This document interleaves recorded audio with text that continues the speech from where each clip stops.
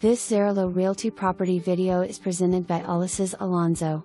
An excellent opportunity to invest in untapped area of Chicago zoned RT4. The Garfield Conservatory, downtown and public transportation are literally minutes away. Take advantage of the low price as new development comes to the area.